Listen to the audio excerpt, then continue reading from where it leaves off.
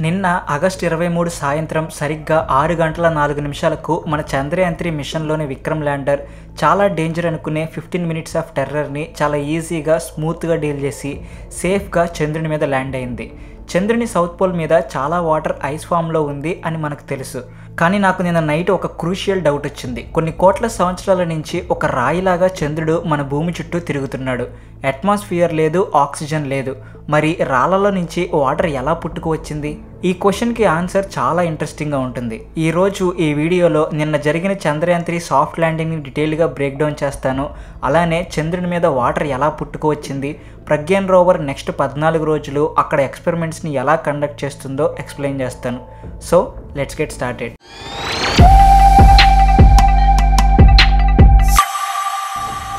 నిన్న జరిగిన Chandrayaan three Vikram lander soft ల్యాండింగ్ని డీటెయిల్డ్గా క్లియర్గా ఎక్స్ప్లెయిన్ చేస్తాను. ఫస్ట్ మనం ఇస్రో మిషన్ కంట్రోల్ రూమ్లో ఉన్న ఈ డిస్ప్లే గురించి తెలుసుకోవాలి. అప్పుడు మీకు ఈ ప్రాసెస్ క్లియర్గా అర్థమవుతుంది. అలానే మీరు నెక్స్ట్ స్పేస్ మిషన్స్ని అర్థం చేసుకోవడానికి కూడా హెల్ప్ అవుతుంది. ఇక్కడ మనం ఈ డిస్ప్లేని అబ్జర్వ్ చేస్తే వీటన్నిటిని చంద్రయాన్ త్రీ పారామీటర్స్ అంటారు. పైన count down from descent start అని ఉంది. ప్లస్ సింబల్లో టైం డిస్ప్లే అవుతుంది. ఇది విక్రమ్ ల్యాండర్ సాఫ్ట్ ల్యాండింగ్ ప్రాసెస్ని స్టార్ట్ చేశాక ఎంత టైం గడిచింది అనేది చూపిస్తుంది. దీని కింద స్టార్టింగ్లో హారిజెంటల్ వెలాసిటీని చూడొచ్చు. దీని పక్కన వెర్టికల్ వెలాసిటీని చూడొచ్చు. ఫిజిక్స్లో ఏదైనా ఆబ్జెక్ట్ ఇంక్లైన్డ్గా ట్రావెల్ అయ్యేటప్పుడు ఆ ఆబ్జెక్ట్కి హారిజెంటల్ వెలాసిటీ ఉంటుంది అలానే వెర్టికల్ వెలాసిటీ కూడా ఉంటుంది. ఈ రెండింటి వెలాసిటీని బట్టి ఆ ఆబ్జెక్ట్ యొక్క ట్రాజెక్టరీ లేదా పాత్ అనేది ఉంటుంది. మీరు ఇక్కడ విక్రమ్ ల్యాండర్ హారిజెంటల్ వెలాసిటీని చూడొచ్చు అలానే వెర్టికల్ వెలాసిటీని కూడా చూడొచ్చు. వీటి పక్కన ఆల్టిట్యూడ్ డిస్ప్లే అవుతుంది. అంటే మన విక్రమ్ ల్యాండర్ చంద్రుని సర్ఫేస్ మీద నుంచి ఎంత ఎత్తులో ఉంది అనేది ఇక్కడ చూపిస్తుంది. వీటి కింద సీక్వెన్స్ స్టేట్ ఉంటుంది. అంటే విక్రమ్ ల్యాండర్ దిగేటప్పుడు ఫోర్ ఫేజెస్ ఉంటాయి. లాస్ట్ టైం నా వీడియోలో సాఫ్ట్ ల్యాండింగ్లో ఫైవ్ ఫేసెస్ ఉంటాయని చెప్పా. ఎందుకంటే నేను పిచ్చప్ ఫేస్ని కూడా ఒక ఫేస్ కింద తీసుకున్నా. కానీ ఇక్కడ పిచ్చప్ ఫేస్ని వేరే ఫేస్లో ఇంక్లూడ్ చేశారు. అందుకే ఫోర్ ఫేజెస్ మాత్రమే ఉన్నాయి. దీని పక్కన సీక్వెన్స్ సబ్స్టేట్ డిస్ప్లే అవుతుంది. అంటే ఈ ఫోర్ ఫేజెస్లో మళ్ళీ వీటికి సంబంధించిన సబ్స్టేట్స్ ఉంటాయి. ఈ సాఫ్ట్ ల్యాండింగ్ ప్రాసెస్ని అంతా కూడా పవర్ డీసెంట్ ఫేజ్ అని పిలుస్తారు. ఈ పవర్ డీసెంట్ ఫేజ్లో ఫోర్ మెయిన్ ఫేజెస్ ఉంటాయి. అవి number one rough braking number two altitude hold number three fine braking and number four terminal descent. మన విక్రమ్ ల్యాండర్ సాఫ్ట్ ల్యాండింగ్ చేసే ముందు చంద్రుని సర్ఫేస్ నుంచి ముప్పై కిలోమీటర్ల ఎత్తులో గంటకి ఆరు వేల కిలోమీటర్ల స్పీడ్తో ట్రావెల్ చేస్తూ ఉంది. ఈ సాఫ్ట్ ల్యాండింగ్ ప్రాసెస్లో విక్రమ్ ల్యాండర్ పదిహేను నిమిషాల్లోనే ముప్పై కిలోమీటర్ల ఎత్తు నుంచి చంద్రుని సర్ఫేస్ మీదకి రావాలి. వస్తూనే స్పీడ్ని గంటకి ఆరు వేల కిలోమీటర్ల నుంచి ల్యాండ్ అయ్యే ముందు త్రీ మీటర్స్ పర్ సెకండ్ కంటే తక్కువకి తీసుకురావాలి. అలానే ఎగ్జాక్ట్గా ల్యాండ్ అయ్యేటప్పుడు జీరోకి తీసుకురావాలి. ఈ ఇంక్రెడిబుల్ ఫీట్ని మన విక్రమ్ ల్యాండర్ పదిహేను నిమిషాలలో ఎలా సాధించిందో చూద్దాం. నిన్న ఆగస్ట్ ఇరవై మూడు సాయంత్రం ఎగ్జాక్ట్గా ఐదు గంటల నలభై ఐదు నిమిషాలకు మన Vikram lander soft landing process start అయింది. ఈ వీడియోలో చూపించేది అంతా నిన్న లైవ్లో జరిగిన visuals. Five forty five పిఎంకి Vikram lander rough braking phase మొదలైంది. ఈ రఫ్ బ్రేకింగ్ ఫేస్ మొదలైనప్పుడు మన విక్రమ్ ల్యాండర్ స్పీడ్ గంటకి ఆరు వేల కిలోమీటర్లు. సర్ఫేస్ నుంచి ముప్పై కిలోమీటర్ల ఎత్తులో ఉంది. ఈ రఫ్ బ్రేకింగ్ ఫేస్లో ఇంజిన్స్ని అప్పుడప్పుడు ఫైర్ చేసి చంద్రుని సౌత్ పోల్లోని ల్యాండింగ్ సైట్ దగ్గరకు తీసుకువెళ్ళడమే మన గోల్. ఈ రఫ్ బ్రేకింగ్ ఫేస్ ఎగ్జాక్ట్గా పదకొండు నిమిషాల యాభై సెకండ్ల పాటు కండక్ట్ అయింది. ఈ రఫ్ బ్రేకింగ్ ఫేస్ ముగిసేసరికి విక్రమ్ ల్యాండర్ ఆల్టిట్యూడ్ ముప్పై కిలోమీటర్ల నుంచి ఏడు పాయింట్ నాలుగు కిలోమీటర్లకి చేరుకుంది. అలానే స్పీడ్ ఆరు వేల కిలోమీటర్ల పర్ అవర్ నుంచి పన్నెండు వందల ఎనభై ఎనిమిది కిలోమీటర్ల పర్ అవర్కి చేరుకుంది. ఇది ప్రిసైస్గా జరిగాక నెక్స్ట్ ఆల్టిట్యూడ్ ఫేస్ మొదలైంది. ఈ ఆల్టిట్యూడ్ ఫేస్లో విక్రమ్ ల్యాండర్ మెయిన్ గోల్ హైట్ని తగ్గించడం. విక్రమ్ ల్యాండర్ థ్రస్టర్స్ని ఫైర్ చేసుకుని altitude height seven point four kilometres నుంచి సిక్స్ పాయింట్ ఎయిట్ కిలోమీటర్స్కి చేరుకుంది. అలానే స్పీడ్ని మూడు వందల కిలోమీటర్ల పర్ అవర్కి తగ్గించుకుంది. ఈ ఫేజ్ సక్సెస్ అయ్యాక నెక్స్ట్ ఫైన్ బ్రేకింగ్ ఫేజ్ మొదలైంది. ఈ ఫేజ్ ఎగ్జాక్ట్గా మూడు నిమిషాల పాటు కండక్ట్ అయింది. ఈ ఫేజ్లో విక్రమ్ ల్యాండర్ థ్రస్టర్స్ బాగా ఎక్కువసేపు ఫైర్ చేసుకుంటుంది. ఈ ఫేజ్ ముగిసేసరికి మన Vikram lander six point eight kilometres ఎత్తు నుంచి కేవలం ఎయిట్ హండ్రెడ్ మీటర్స్ ఎత్తుకు చేరుకుంది. అలానే స్పీడ్ని three hundred kilometres per hour నుంచి త్రీ మీటర్స్ పర్ సెకండ్కి తగ్గించుకుంది. ఈ ఫేజ్ తర్వాత నెక్స్ట్ టెర్మినల్ డీసెంట్ ఫేజ్ మొదలైంది. అన్నిటికంటే ఈ ఫేజ్ చాలా చాలా ఇంపార్టెంట్. ఈ టెర్మినల్ డీసెంట్ ఫేజ్లో టూ సబ్ ఫేసెస్ ఉంటాయి. Number one vertical descent phase one number two vertical descent phase two. ఈ రెండు ఫేసెస్ కేవలం ముప్పై ఆరు సెకండ్లలో జరగాలి. వర్టికల్ డీసెంట్ ఫేజ్ వన్లో విక్రమ్ ల్యాండర్ ఎనిమిది వందల మీటర్ల ఎత్తు నుంచి నూట యాభై మీటర్ల ఎత్తుకు చేరుకుంది. అలానే వర్టికల్ స్పీడ్ కేవలం త్రీ మీటర్స్ పర్ సెకండ్ కంటే తక్కువ ఉంది.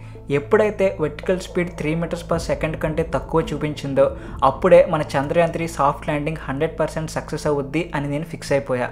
మన విక్రమ్ ల్యాండర్ నూట యాభై మీటర్ల ఎత్తులో ఉన్నప్పుడు నావిగేషన్ కెమెరాస్ యూజ్ చేసుకుని ల్యాండింగ్ సైట్ని గుర్తించి టార్గెట్ చేసుకుంది. టార్గెట్ని లాక్ చేసుకునేటప్పుడు మన Vikram lander speed horizontal and వర్టికల్గా కూడా లిటరల్లీ జీరో పాయింట్ జీరోలో ఉంది. అంటే ఐరన్ మ్యాన్ లాగా చంద్రుని పైన నుంచుని హోవరింగ్ చేస్తుందన్నమాట. నెక్స్ట్ వర్టికల్ డీసెంట్ ఫేజ్ టూలో నూట యాభై మీటర్ల ఎత్తు నుంచి రెండు ఇంజిన్స్ని ఫైర్ చేసుకుని కిందకి దిగడం స్టార్ట్ చేసింది. ఎగ్జాక్ట్గా ఇంకా టెన్ మీటర్స్ డిస్టెన్స్ ఉంది అనగా టార్గెట్ని మళ్ళీ స్కాన్ చేసి ఎర్రర్స్ని రీక్యాలిక్యులేట్ చేసింది. ల్యాండింగ్కి సేఫ్ అని తెలుసుకున్నాక చాలా స్మూత్గా సాఫ్ట్గా ల్యాండ్ అయింది మన విక్రమ్ ల్యాండర్ యాక్చువల్లీ ఈ వర్టికల్ డీసెంట్ ఫేజ్ టూలో హజార్ డిటెక్షన్ కెమెరాస్ ఏమైనా డేంజర్ ఉందా లేదా ల్యాండింగ్ సేఫేనా కాదా అనేది క్యాలిక్యులేట్ చేస్తాయి. సపోజ్ ల్యాండింగ్ సేఫ్ కాదు అని అనిపిస్తే విక్రమ్ ల్యాండర్ వెంటనే వంద మీటర్ల దూరంలో ఇంకొక ప్లేస్కి వెళ్ళి ల్యాండ్ అయ్యేలా మన ఇస్రో ఆల్టర్నేట్ ప్లాన్ని పెట్టింది.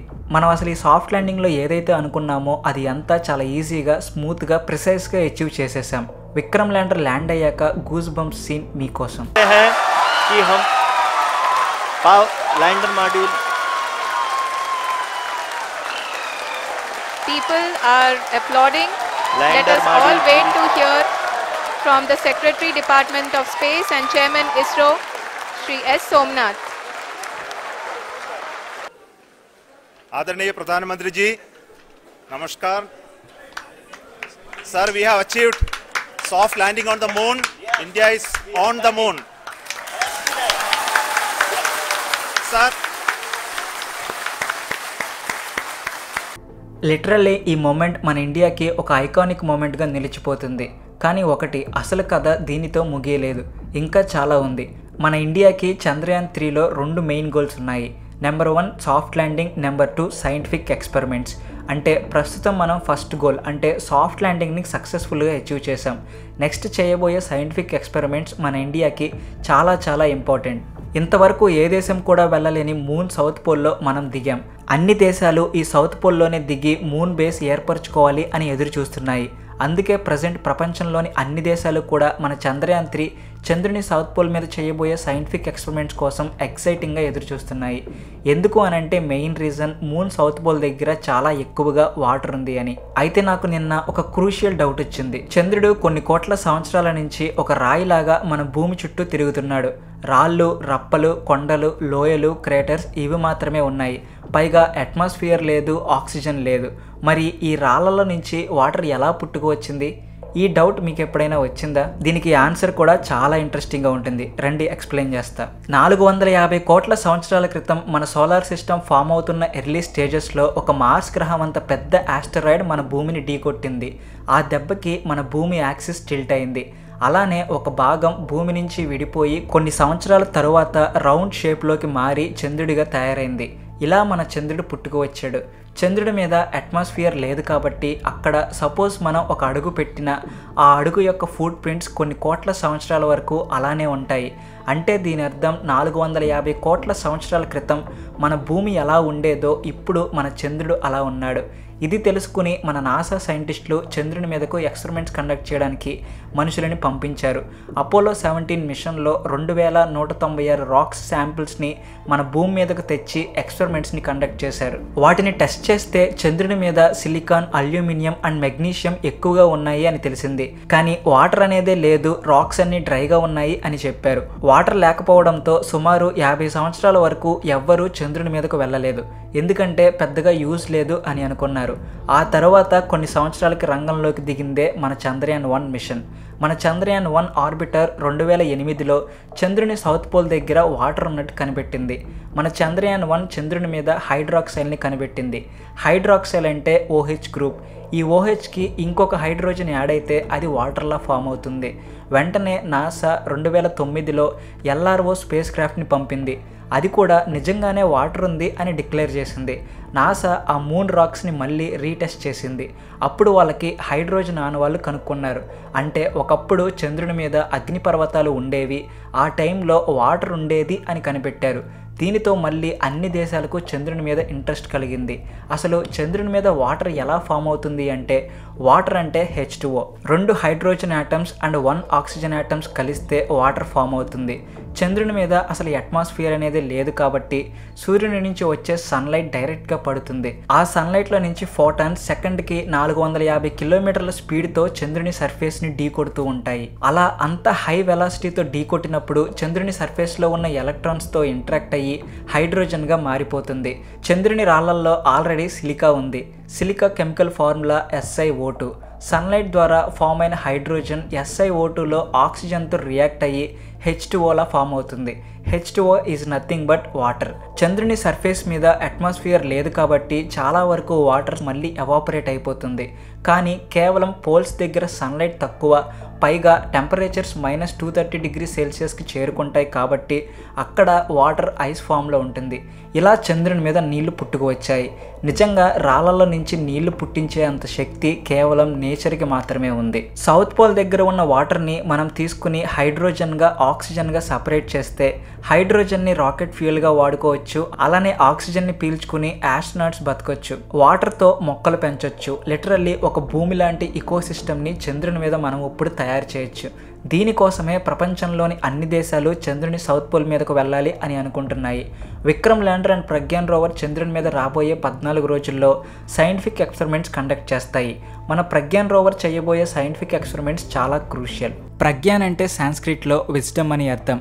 సోలార్ ప్యానెల్స్ని యూజ్ చేసుకుని సన్లైట్ ద్వారా ఫిఫ్టీ వాట్స్ పవర్ని జనరేట్ చేసుకుని ఈ రోవర్ పనిచేస్తుంది. అలానే ఇందులో ఎక్స్ట్రాగా ఒక బ్యాటరీ కూడా ఉంటుంది. ఈ ప్రజ్ఞాన్ రోవర్ చంద్రుని మీద కేవలం పద్నాలుగు రోజులు మాత్రమే పనిచేయగలదు. అండ్ మన ప్రజ్ఞాన్ రోవర్ కింద ఏపీఎక్సెస్ ఉంటుంది. ఏపీఎక్సెస్ అంటే ఆల్ఫా ఫోటాన్ ఎక్స్రే స్పెక్ట్రోమీటర్. ఇది ఎలా పనిచేస్తుంది అంటే ఇక్కడ గ్రీన్ కలర్ సర్కిల్స్ ఉన్నాయి కదా ఈ పాయింట్స్ నుంచి రోవర్ ఆల్ఫా పార్టికల్స్ని చంద్రుని మీదకు షూట్ చేస్తుంది. ఈ ఆల్ఫా పార్టికల్స్ చంద్రుని సర్ఫేస్ని ఢీకొట్టగానే అవి ఎగ్జైట్ అయ్యి ఎక్స్రేస్ని రిలీజ్ చేస్తాయి. ఈ ఎక్స్రేస్ని మిడిల్లో ఉన్న రెడ్ కలర్ స్పెక్ట్రోమీటర్ క్యాప్చర్ చేసుకుని ఎగ్జామిన్ చేస్తుంది. అప్పుడు మనకి అక్కడ ఏమేం ఎలిమెంట్స్ ఉన్నాయి ముఖ్యంగా ఎలాంటి మెటల్స్ ఉన్నాయో తెలిసిపోతుంది. అండ్ ప్రజ్ఞాన్ రోవర్కి మిడిల్లో ఒక లేజర్ లైట్ కూడా ఉంటుంది. దీని ద్వారా లేజర్ పల్సెస్ని సర్ఫేస్లోకి పంపిస్తుంది. అప్పుడు అక్కడ ఉన్న మెటీరియల్ ఎవాపరేట్ అయ్యి అయనైజ్ అవుతుంది. అయనైజ్ అయినప్పుడు రేడియేటింగ్ ప్లాస్మాని రిలీజ్ చేస్తుంది. ఈ రేడియేటింగ్ ప్లాస్మాని స్పెక్ట్రోమీటర్ క్యాప్చర్ చేసుకుని అక్కడ ఎలాంటి మెటీరియల్ ఉందో తెలుసుకుంటుంది. ఈ రెండు ప్రాసెసెస్ ద్వారా రోవర్ చంద్రుని సర్ఫేస్ కాంపోజిషన్ని అర్థం చేసుకుంటుంది. ప్రజ్ఞాన్ రోవర్ పద్నాలుగు రోజుల పాటు పనిచేస్తుంది. ఆ తర్వాత temperature minus two thirty degree సెల్సియస్కి చేరుకుంటుంది. ఈ టెంపరేచర్లో రోవర్ పనిచేయడం కష్టం. నార్మల్గా అయితే రోవర్లో ఆర్టిఫిషియల్ హీటర్ని ఉంచితే అవి రోవర్ టెంపరేచర్ని మెయింటైన్ చేసి వర్క్ అయ్యేలా చేస్తాయి. కానీ మన ఇస్రో రోవర్లో అడిషనల్గా బ్యాటరీస్ని ఉంచింది. లాస్ట్ రోజు సన్లైట్ పోయే ముందు ఆ బ్యాటరీస్ని ఫుల్గా రీఛార్జ్ చేయగలిగితే మళ్ళీ మన ప్రజ్ఞన్ రోవర్ పనిచేసే ఛాన్స్ ఉంది. మీకు ఈ వీడియోలో ఇచ్చిన ఇన్ఫర్మేషన్ నచ్చితే సబ్స్క్రైబ్ చేసి మీ ఫ్రెండ్స్కి షేర్ చేయండి. Thanks for watching. Please like and share.